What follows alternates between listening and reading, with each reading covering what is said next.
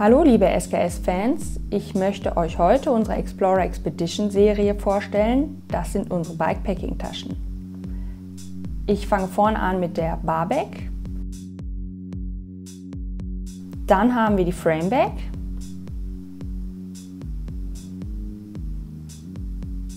Und die Saddleback.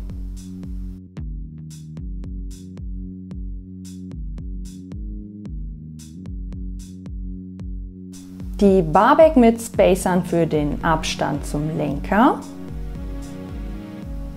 die Frameback mit großer Tasche auf der einen Seite und zwei kleinen Taschen für schnellen Zugriff, zum Beispiel zu Werkzeug und Minipumpe, die Saddleback mit optionalem Radschutz und der Radschutz mit werkzeugloser Montage. Wir starten mit der Barback. Diese hat ein Fassungsvermögen von 9 Litern und die erste Befüllung nehmt ihr vor, bevor ihr die Tasche am Lenker montiert. Die beiden dicken Straps befestigt ihr rechts und links vom Vorbau. Ein dritter Strap kann optional um das Steuerrohr befestigt werden für noch mehr Stabilität. Dieses äh, kleine knopfartige Ding, was ihr hier seht, ist ein Ventil.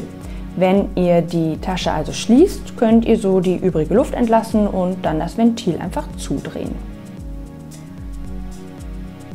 Genau das mache ich jetzt mal. Das heißt, ich fange einfach auf der einen Seite an, die Tasche einzurollen. Und mache dann am Ende den Clip zu.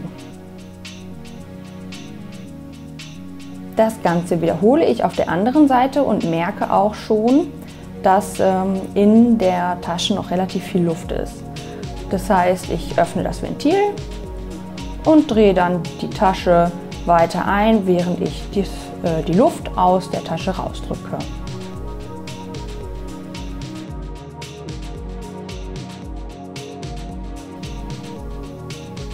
Jetzt kann ich die Tasche auch auf der anderen Seite noch weiter einrollen, damit es auch gleichmäßig ist.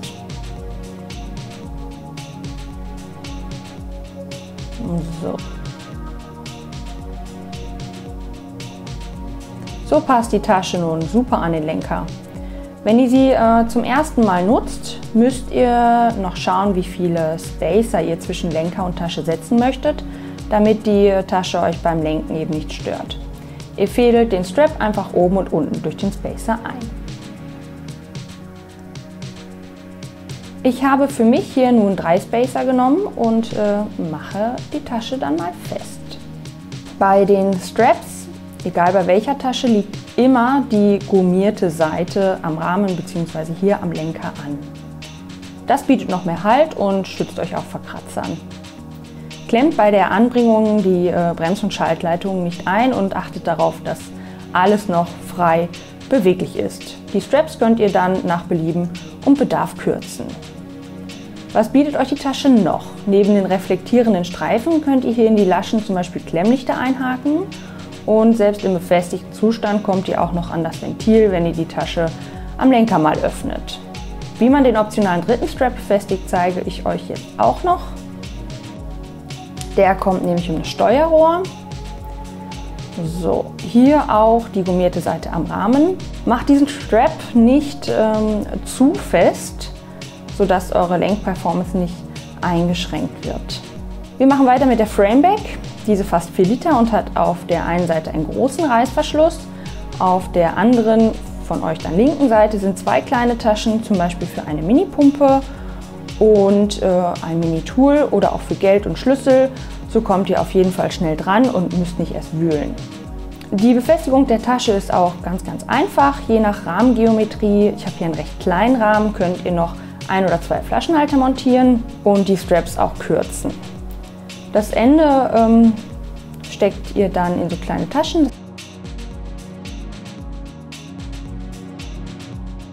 Ein vierter Strap ist für euer Sattelrohr, gummierte Seite wieder zum Rahmen und äh, Kürzen hier natürlich auch möglich.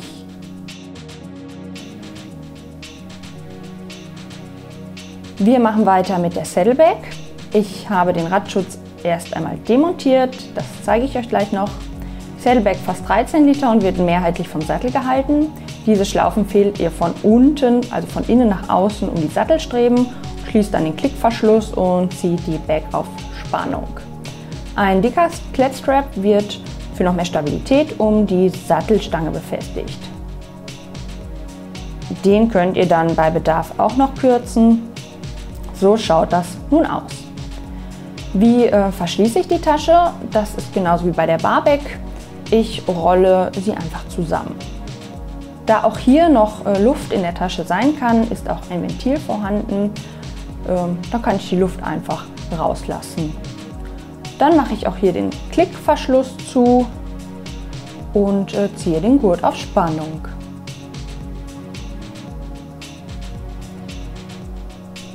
So. Ein äh, tolles Feature ist der Gurt auf der Tasche für zum Beispiel eine Jacke oder einen Schal. Ich drücke nochmal die Luft raus, mache das Ventil zu und bin dann auch hier mit der Saddleback fertig. Wie eingangs erwähnt, habe ich den Radschutz demontiert. Das Ganze geht werkzeuglos und ist mit ein paar Handgriffen erledigt. Die äh, Schrauben, die quasi in die Tasche hineinschauen, sind natürlich mit genug äh, Material gepolstert, sodass hier ähm, keine Gefahr besteht, dass euer Inhalt beschädigt wird.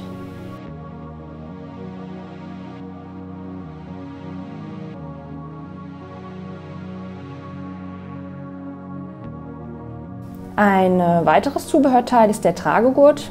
Der ist wirklich sehr praktisch. Den könnt ihr einfach an den dafür vorgesehenen Ösen einmal vorne befestigen, also einfach einhaken. Und hinten haben wir dann auch eine Öse. Genau. So könnt ihr die Tasche dann einfach über die Schulter werfen und jederzeit dann mitnehmen. Hier seht ihr die Tasche dann noch einmal mit Radschutz am Bike. Wie gesagt, bei gutem Wetter einfach demontieren.